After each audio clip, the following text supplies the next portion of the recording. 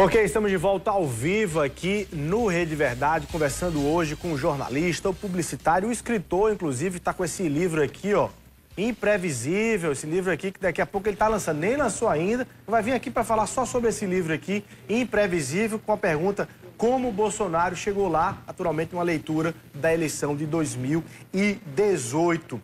É, mas Lucas Salles está contando da sua experiência quando foi candidato ao governo do Distrito Federal nessas eleições e agora vai dizer se pegou gosto pela política e vai continuar e vai disputar as eleições aqui na Paraíba em 2024. Aí.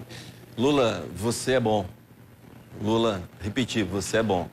É, Lula, deixa eu falar sinceramente, eu como profissional eu vou trabalhar em campanhas, né? Tem alguns candidatos me procurando, eu vou escolher bem os candidatos que eu quero trabalhar candidatos a prefeito, alguns candidatos a vereador em alguns lugares do Brasil. Então, aí a gente tem uma equipe também de profissionais para bem atendê-los. Mas, sinceramente, se eu receber o convite, eu pensarei com muito carinho, que eu penso que a gente pode contribuir. Olha aí. E você, e tem, você, você foi perfeito na pergunta, né? Vou continuar lá. Se você pergunta, Lucas, pensa, vou continuar sim, porque eu penso que a gente tem que construir um projeto que seja diferente, onde a gente, um projeto que esteja realmente acima da política, que, que foque a transformação é, na vida das pessoas, que tenha eficiência administrativa, com, usando a tecnologia para você ter transparência. Eu entendo que a, a tecnologia te ajuda na transparência e te ajuda também a você humanizar a tua gestão.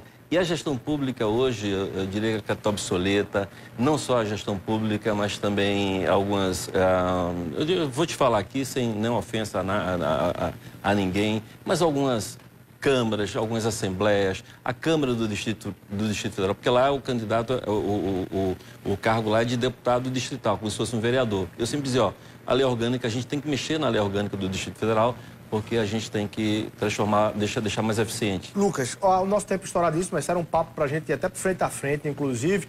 É, mas só para registrar, esse seu movimento é um movimento que é, ajuda, inclusive, no papel do marketing, inclusive. Porque alguém, se você fazer uma campanha agora, você já faz com o olhar não só do marqueteiro, você faz com o olhar do candidato propriamente dito. E, enfim, e, e no pacote vai não só a forma, vai também é, o debate e a discussão sobre o conteúdo da gestão pública. Nosso tempo é esgotadíssimo, eu queria Lula, agradecer bem, sua presença. Ah, tá. Mas Lula, bem rápido, é isso mesmo. Vou aproveitar bem rápido mesmo.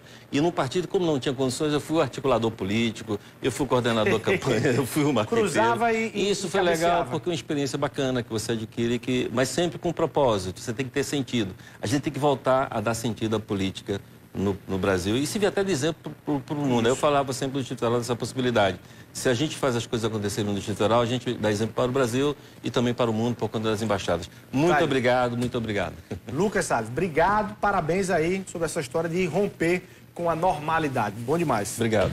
Bom, a gente vai ficando por aqui. É você o nosso abraço. Muito obrigado pelo carinho da sua audiência. Até amanhã, se Deus quiser.